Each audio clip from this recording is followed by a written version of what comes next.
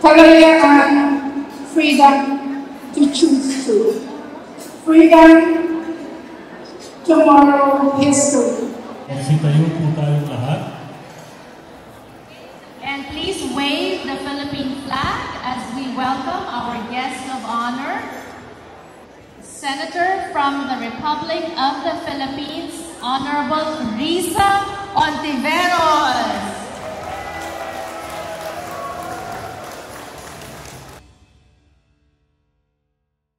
Everyone, my name is Janelle So and you are watching So Janelle. This is your weekly dose of Filipino stories of immigration and representation.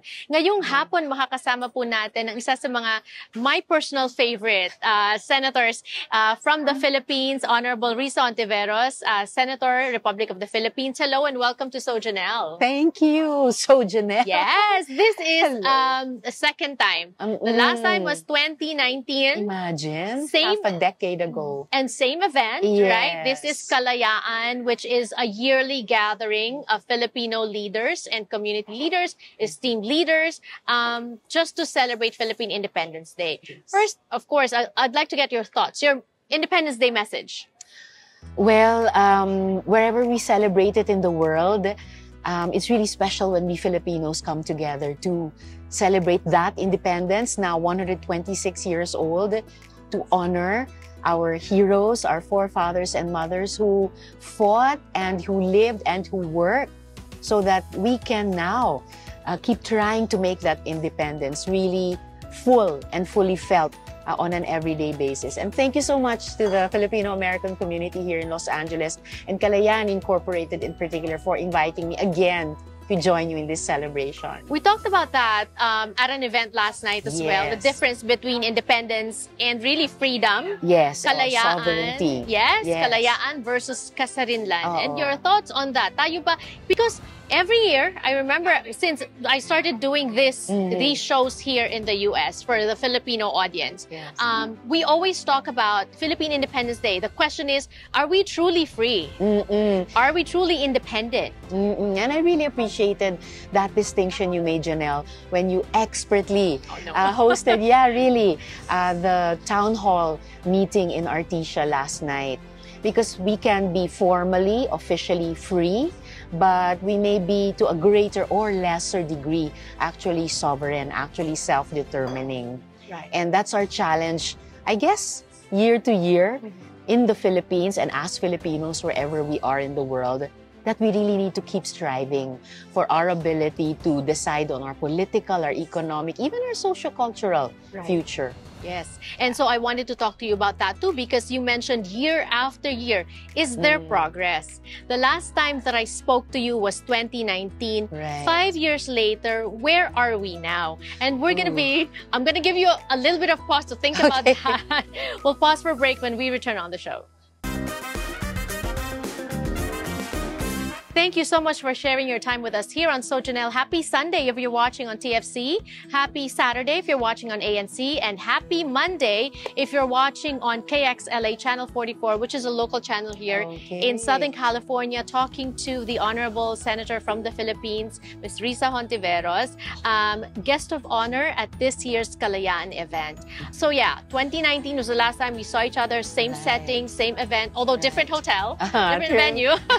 Have things changed? At that time, we were approaching an election year. Right. And there was a lot of hope Mm-mm. for for change, for progress in the Philippines. Mhm. And now it's two years after that election. Correct.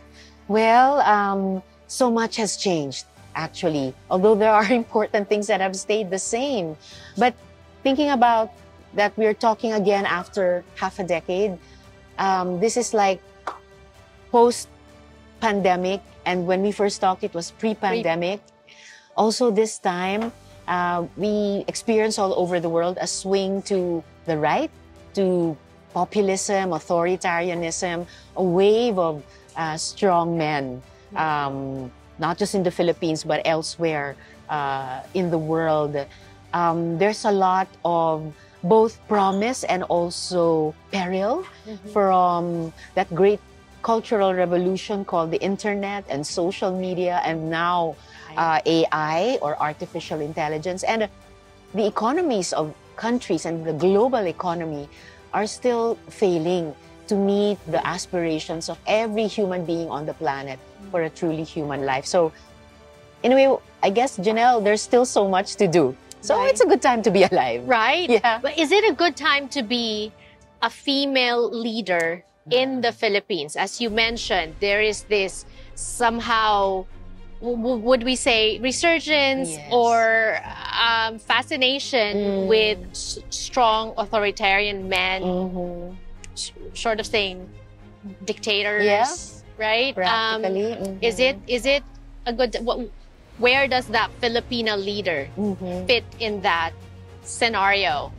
I guess it's always a good time because uh, being a human being uh, who happens to be a woman um, means there's always that bright promise for every woman like us who's participating in or representing in or even leading in political processes. But this time, like many others or most others in our history, uh, is not less difficult. There's still a lot of blocks or barriers. Um, there's a lot of untapped potential. There are many changes that have to happen, not just in the external political or economic environment, but even in our worldviews. Yes. So the cultural change often is the most important, Right. but sometimes the most difficult.